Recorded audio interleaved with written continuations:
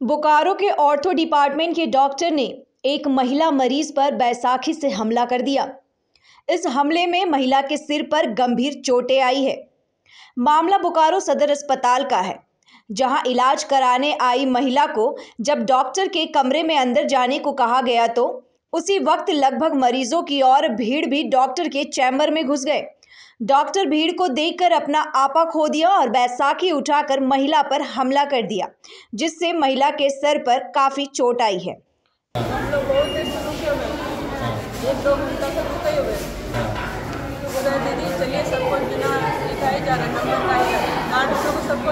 ही। अंदर घुसा दिया तो हम अंदर बाहर में खड़े थे उसके बाद डॉक्टर घुसा गया उसके बाद सबको मारने शुरू कर दिया तो हम लोग बाहर निकल गए बाहर में आके मार दिया। तो मैंने बिना नंबर का गार्ड घुसा दिया था। हाँ। तो आप लोग मैंने नंबर लिए हुए थे? नंबर तो हम लिए हुए थे बाहर में ही थे। तो बिना नंबर से ही सबको घुसा दिया। और इसीलिए डॉक्टर गुस्सा गए। घुसा के मारने शुरू कर क्या नाम हुआ आपका? मेरा नाम? अभी मैं ऊपर में आईसीयू की तरफ़ में वार्ड में राउंड पे था, ऊपर से लौट के जब मैं अपने चैम्बर में आया, जी।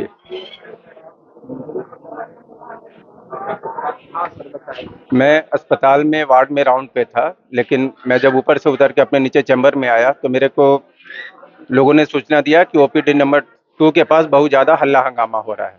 यहाँ पे आके देखा तो लोगों की भीड़ लगी हुई थी और लोग, लोगों के बीच में इस तरह की चर्चा हो रही थी।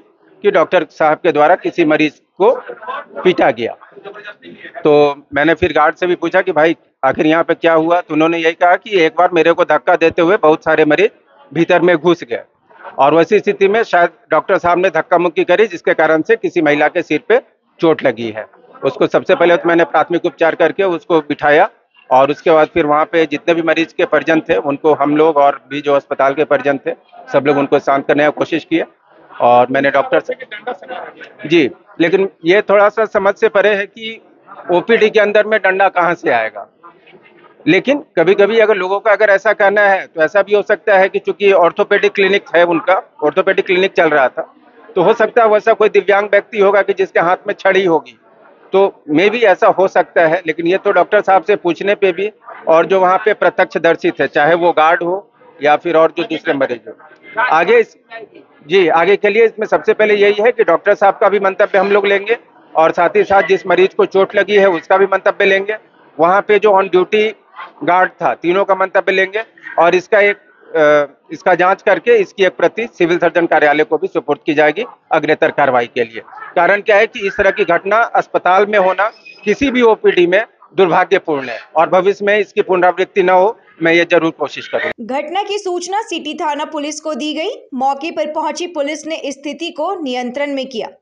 पुलिस अधिकारी ने बताया कि भीड़ को हटाने के दौरान महिला गिर गई जिससे वह गंभीर रूप से घायल हो गई जबकि महिला ने चिकित्सक पर मारपीट करने का आरोप लगाया है।